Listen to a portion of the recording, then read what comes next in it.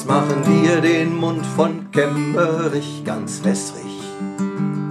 Einen, der in den Landtag gerade knapp gewählt.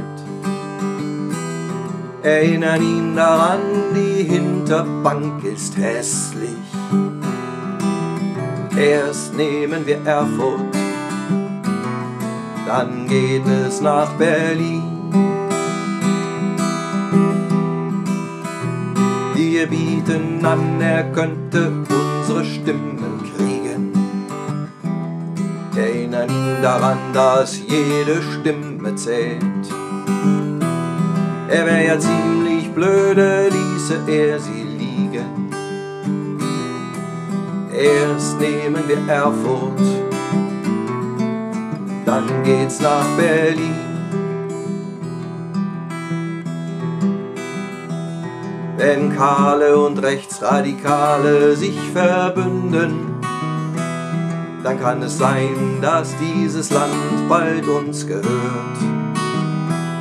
Wir lassen nicht nur Liberale dann verschwinden, sondern auch jeden, der sich daran dann noch stört. Gehört uns erst Berlin, tatsächlich tritt er dann auch an im dritten Wahlgang und tut überrascht, sieht er, er ist gewählt. Dass er die Wahl dann annimmt, ist ja mal ein Anfang. Erst nehmen wir Erfurt, dann geht's nach Berlin. Vereidigt stellt er fest, mit uns kann er ja siegen. Deutlich sieht man, wie er sich freut, so frisch gewählt. Bleibt auch der Blumenstrauß vor seinen Füßen liegen. Erst nehmen wir Erfurt, dann geht's nach Berlin. Sein Parteichef Lindner will ihn überreden, obwohl doch der es erstmal gar nicht so schlimm fand.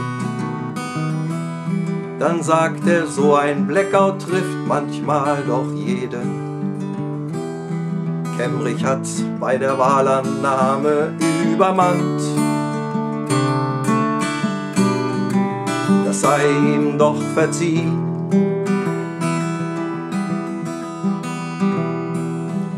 Übermannte Männer, die sind bei uns richtig. Übermannte Männer, haltet euch bereit. Übermannte Männer, wir nehmen euch wichtig. Erst einmal in Erfurt,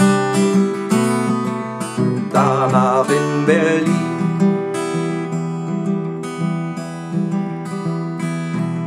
Über Männer muss uns niemand etwas sagen. Nazis wissen über Männer doch Bescheid. Wer mit uns regieren will, soll einfach fragen. Erst nehmen wir Erfurt,